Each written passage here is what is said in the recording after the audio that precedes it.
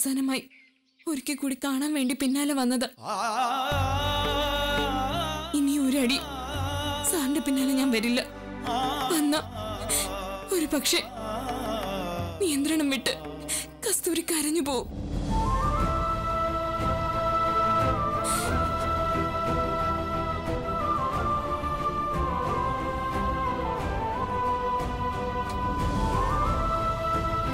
കസ്തൂരി.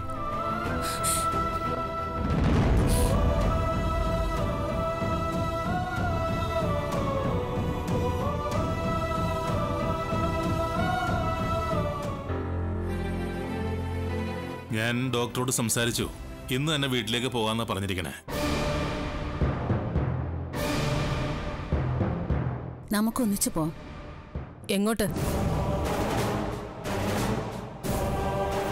കൗസ്തവത്തിലേക്കോ എന്റെ മോളെ വീണ്ടും ആ കാരാഗൃഹത്തിലേക്ക് കൊണ്ടുപോകാന്ന് വിചാരിച്ച് ആരും കാത്തു നിൽക്കണ്ട.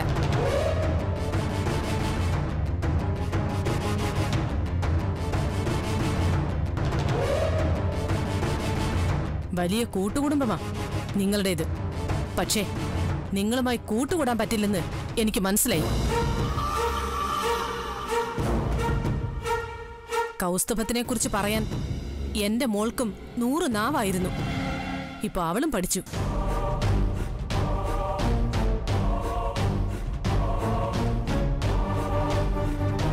ആദിയുടെ ഭാഗത്ത് നിന്ന് ഒരു വീഴ്ച വന്നിട്ടുണ്ട്. ഒരു വീഴ്ചയല്ലേ. സ്വന്തം ഭാര്യയുടെ കാര്യത്തിൽ നിരന്തരമായി വീഴ്ച വരുത്തിക്കൊണ്ടേയിരിക്കുക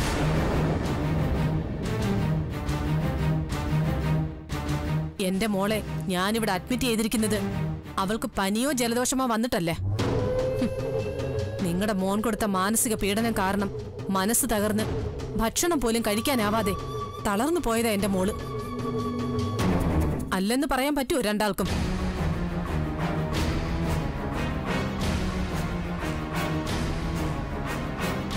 പറഞ്ഞല്ലോ.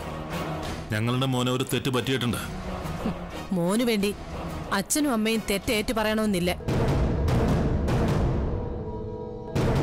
ഞങ്ങൾ ഇവളെ സ്വന്തം മോളെ പോലെ അല്ല സ്നേഹിച്ചതെന്ന് റാണി പറയട്ടെ.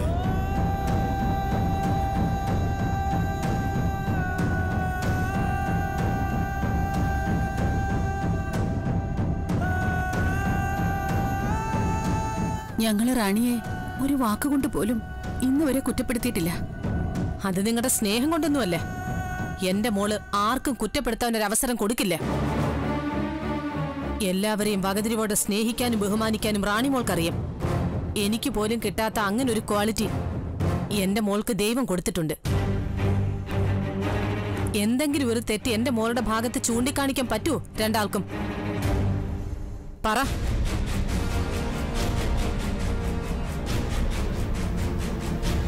വിവാഹം കഴിഞ്ഞ് ഇത്രയും നാൾ എന്റെ അടുത്ത് പോലും വരാതെ നിങ്ങളോടൊപ്പം ആയിരുന്നില്ലേ എന്റെ മോൾ? എനിക്ക് കൗസ്തുഭത്തിലും ഒരച്ഛനും അമ്മയും ഉണ്ടെന്ന് അഭിമാനത്തോടെ എന്റെ മുഖത്ത് നോക്കി പറഞ്ഞ ഇവളെയല്ലേ നിങ്ങളുടെ മകൻ ഈ വിധത്തിലാക്കിയത്?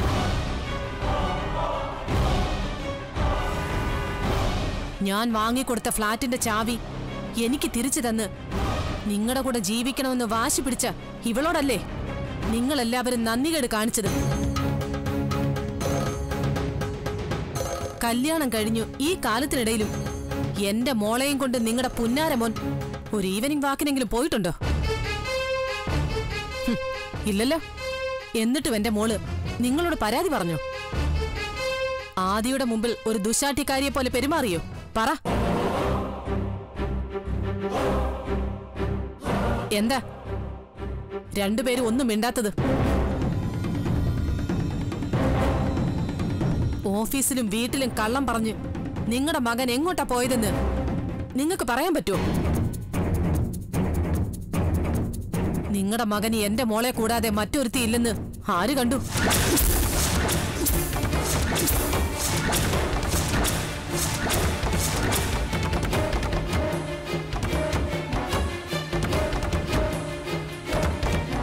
അവളെ കാണാൻ പോയതല്ലെന്ന് പറയാൻ പറ്റുമോ നിങ്ങൾക്ക്?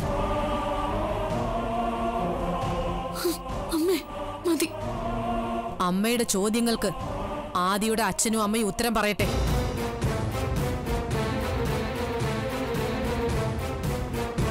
എന്റെ മകളെക്കുറിച്ച് എന്ത് ചോദിച്ചാലും അതിനുത്തരം പറയാൻ ഞാൻ തയ്യാറാ. കാരണം ഞാൻ എന്റെ മോളെ പഠിപ്പിച്ചത് അങ്ങനെയാ. ഇവളെ സ്നേഹിക്കാം വിശ്വസിക്കാം കൂടെ കൊണ്ടു നടക്കാം. നിങ്ങളുടെ മോനെ പോലെയല്ല.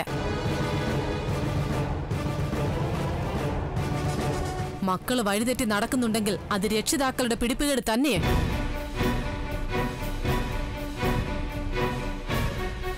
എന്റെ മോൾക്ക് വേണ്ടി കാത്തു നിൽക്കാതെ ആദ്യം സ്വന്തം മോനെ വരച്ച വരയിൽ നിർത്താൻ നോക്ക്. ഒരു ഭർത്താവിന് വേണ്ട അടിസ്ഥാന യോഗ്യത പഠിപ്പിക്ക്.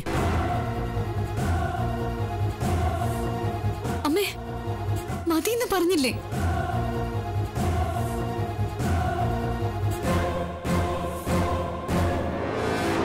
മോളുടെ അമ്മ പറഞ്ഞത് മുഴുവൻ കേട്ടുന്നത് പറഞ്ഞതിൽ ഒന്നും ഒരു പതിരുമില്ലാത്തതുകൊണ്ടാണ്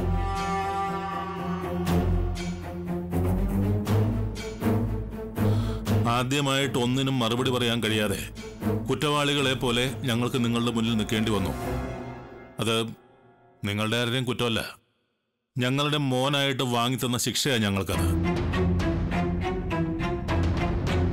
മക്കളുടെ ഭാഗത്ത് തെറ്റുപറ്റിയ രക്ഷിതാക്കൾ സഹിക്കണമല്ലോ.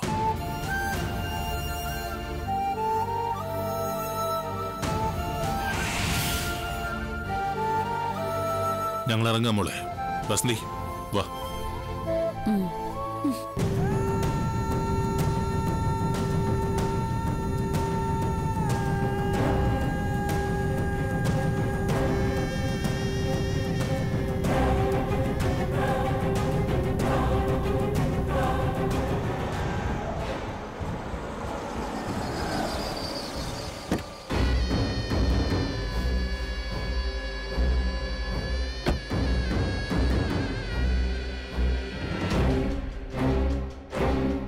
ഓക്കെ. ശരി സാർ.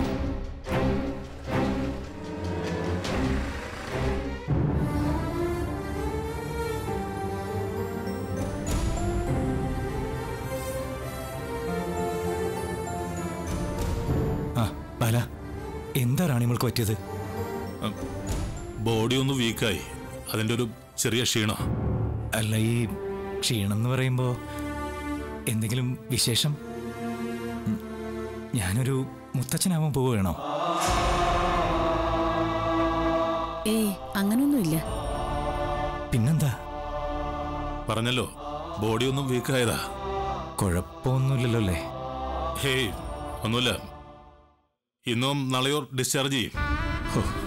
ആ എന്നാ വാ കുറച്ച് കഴിഞ്ഞിട്ട് പോവാം. അല്ല ഇത്രയും നേരം ഞങ്ങൾ മുകളിലെടുത്തിരിക്കുകയായിരുന്നു ചെന്നിട്ട് ഒന്ന് രണ്ട് എൻഗേജ്മെന്റ്സ് ഉണ്ട്. ഓ. ആ പിന്നെ മോൾ ഡിസ്ചാർജ് ആയ കുറച്ച് ദിവസം ഞങ്ങളുടെ ഇവിടെ നിൽക്കട്ടെ എന്നാ ശരി തിരക്കൊണ്ട് നിങ്ങൾ വിട്ടോ? ഞാൻ മോളെ ഒന്ന് കാണട്ടെ?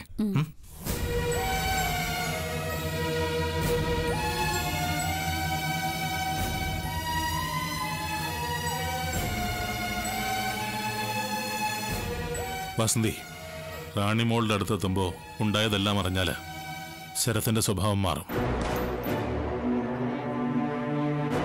ശരത്ത് അച്ഛനല്ലേ? മാത്രമല്ല ഒന്നിന് പത്തായിട്ട് രാധാമണി പറഞ്ഞു കൊടുക്കുകയും ചെയ്യും.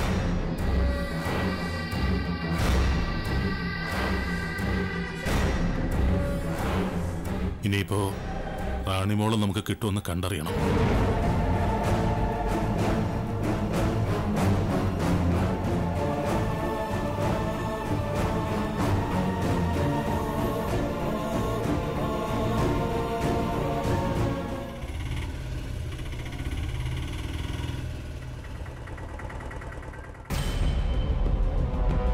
എത്രേ എൺപത് രൂപ.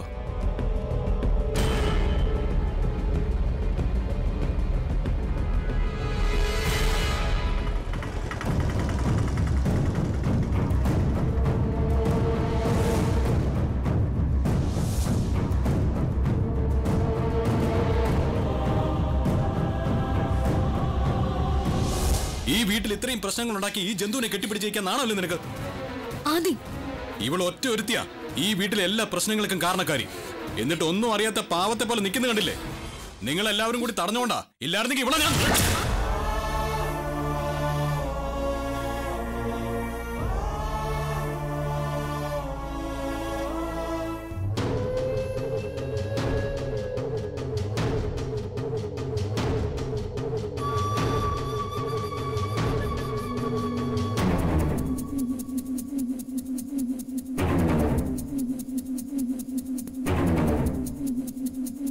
എന്താ വല്യച്ഛ എന്താ വല്യച്ഛൻ എന്നാണോ? എന്താണ് വല്യച്ഛൻ എന്നാണോ? രണ്ടായാലും ഉത്തരം പറഞ്ഞുതരാം.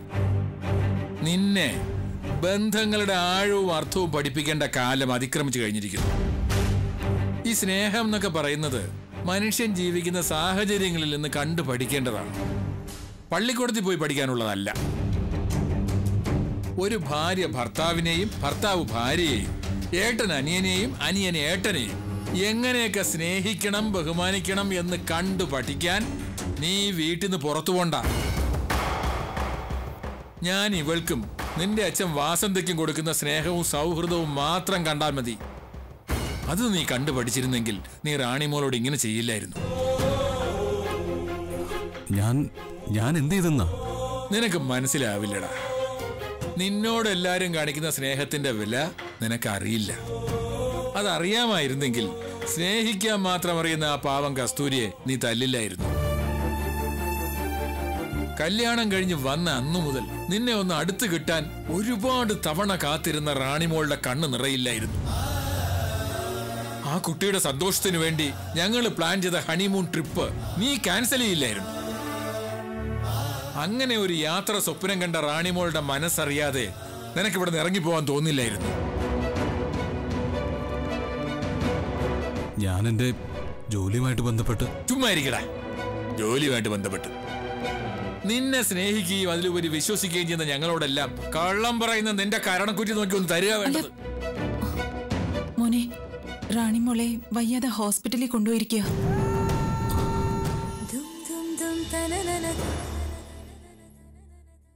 മോനെ റാണിമോളെ വയ്യാതെ ഹോസ്പിറ്റലിൽ കൊണ്ടുപോയിരിക്കുക.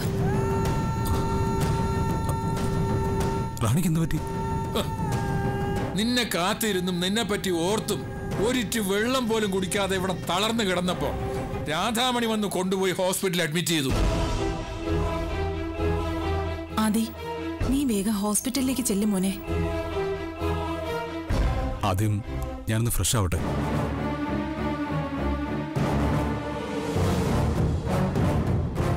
ഫ്രഷായിട്ട് അങ്ങോട്ട് ചെല്ലുമ്പോ രാധാമണി റാണിയെ കാണാൻ അനുവദിച്ചാൽ ഭാഗ്യം. പോയിട്ട് വരട്ടെ. എന്നിട്ട് വേണം എല്ലാവരോടും കള്ളം പറഞ്ഞിട്ട് അവൻ എങ്ങോട്ടാ പോയെന്ന് അറിയാൻ ആദ്യം എന്തിനാ എന്നോട് കള്ളം പറഞ്ഞത്? ഞാൻ അവന്റെ ഭാര്യയല്ലേ? എന്തുണ്ടെങ്കിലും എന്നോട് പറഞ്ഞൂടെ? സ്വന്തം ഭാര്യയോട് പോലും കള്ളം പറഞ്ഞ് എവിടേക്കെങ്കിലും പോകുന്നത് ശരിയാണോ? ജീവിക്കുന്നവരെ ഇങ്ങനെ ചീറ്റ് ചെയ്യുന്നത് ഭർത്താവായാലും ഭാര്യയായാലും അംഗീകരിക്കാനാവില്ല.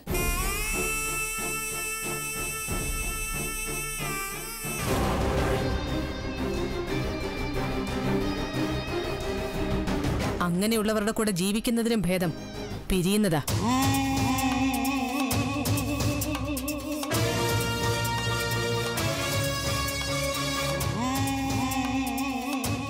ആത്മാർത്ഥതയില്ലാത്ത ഒരാളുടെ കൂടെ ജീവിക്കുന്നത് ആത്മഹത്യാപരമാ.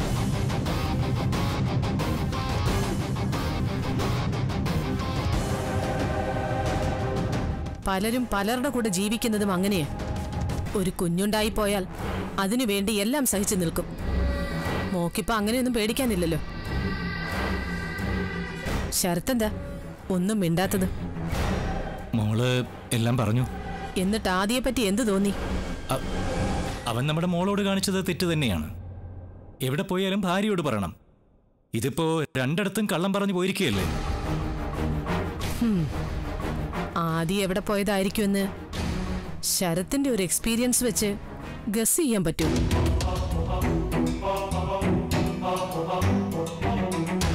എനിക്ക് എങ്ങനെയാ പറയാൻ പറ്റുക? അവൻ വരട്ടെ. നമുക്ക് നേരിട്ട് ചോദിക്കാമല്ലോ ചോദിച്ചാൽ അവൻ സത്യം പറയൂ. പറയിപ്പിക്കണമല്ലോ. ആ അതിനൊക്കെ വഴിയുണ്ട്.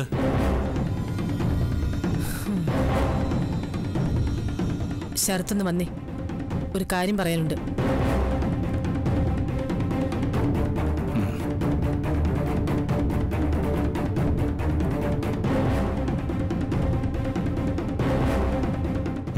എന്താ?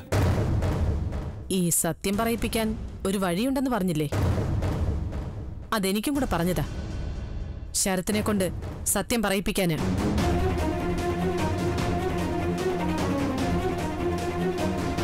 സത്യത്തിൽ ശരത്ത് എവിടെയായിരുന്നു പോയത്? ഞാൻ ഡൽഹിയിൽ ശരത്ത് ഫ്ലൈറ്റിലാണോ വന്നത്? അതെ. പൈലറ്റുമാരുടെ സ്ട്രൈക്ക് കാരണം ഇന്ന് ഡൽഹിയിൽ നിന്നുള്ള എല്ലാ ഫ്ലൈറ്റുകളും നിർത്തിവെച്ചിരിക്കുകയാണല്ലോ. അതറിഞ്ഞില്ലല്ലേ? അതല്ല സ്പെഷ്യൽ ഫ്ലൈറ്റ് ചാർട്ട് ചെയ്ത് വന്നതാണോ? ഡൽഹിയിൽ ശരത്ത് പോയിടത്തൊന്നും മൊബൈലിന് റേഞ്ച് ഇല്ലേ? ശരത് ഞാൻ നിങ്ങളുടെ പിന്നാലെയുണ്ട്. ഇപ്പൊ ഇത്രയും പറഞ്ഞത് ശരത്ത് കാണിക്കുന്ന ഓരോ കള്ളത്തരങ്ങളും ഞാൻ മനസ്സിലാക്കുന്നുണ്ടെന്ന് നിങ്ങളെ അറിയിക്കാന്. കയ്യോടെ പിടികൂടുന്നത് വരെ രാധാമണി കാത്തിരിക്കും. അതുവരെ ഒരു ഭാര്യയുടെ വേഷത്തിൽ ഞാൻ ശരത്തിനൊപ്പം ഉണ്ടാവും.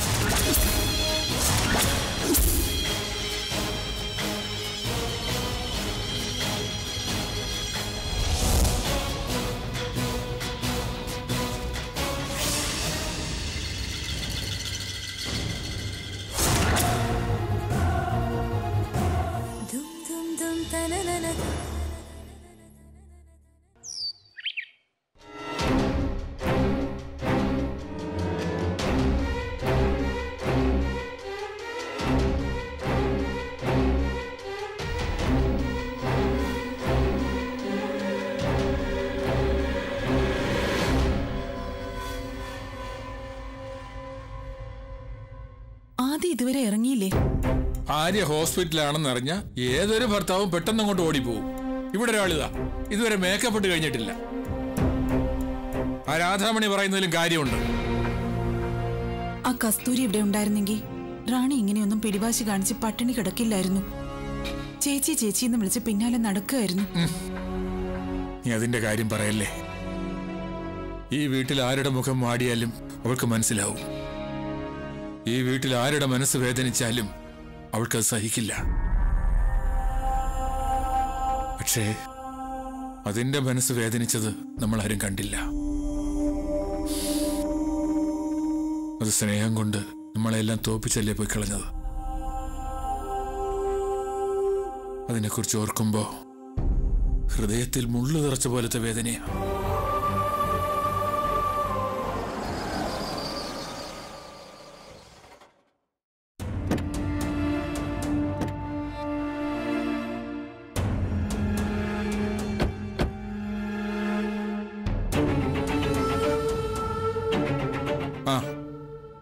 റാണിമോൾക്ക് എങ്ങനെയുണ്ട് പോലെ അതും.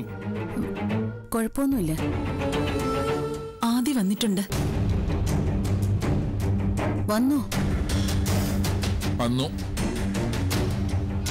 എന്നിട്ട് ഏട്ടനൊന്നും പറഞ്ഞില്ലേ? പറഞ്ഞു. എന്നിട്ട്? ഫ്രഷ് ആവാൻ വേണ്ടി പോയിരിക്കുക റാണി ഹോസ്പിറ്റലാണെന്ന് അറിഞ്ഞിട്ടും പെട്ടെന്ന് അവിടെ എത്തണമെന്നുള്ള വിചാരമൊന്നുമില്ല അവനല്ലേ? അത്യാവശ്യം പറയാനുള്ളതൊക്കെ ഞാൻ പറഞ്ഞിട്ടുണ്ട്.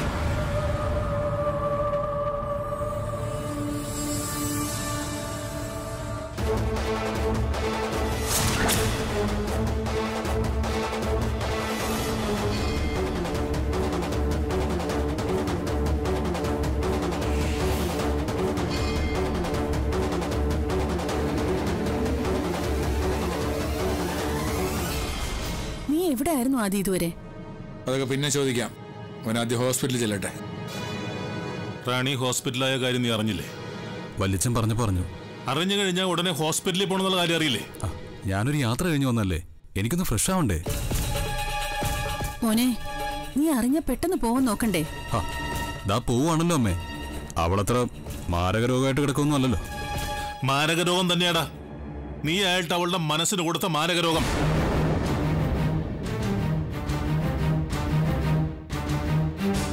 ഒന്നിനോടും ഒരു പരാതി പറയാതെ എല്ലാത്തിനോടും ഒരു ചിരിയോടെ പ്രതികരിക്കുന്ന കുട്ടിയത്.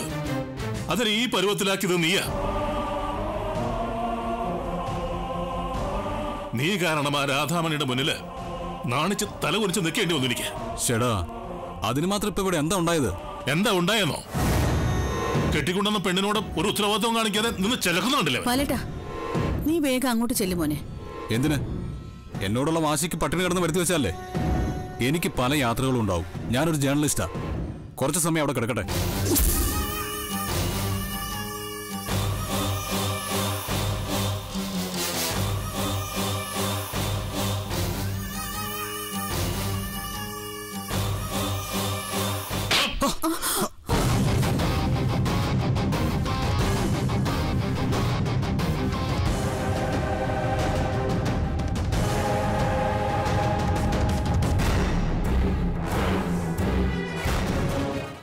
കള്ളം പറഞ്ഞു പോയത് തെറ്റ് തന്നെ.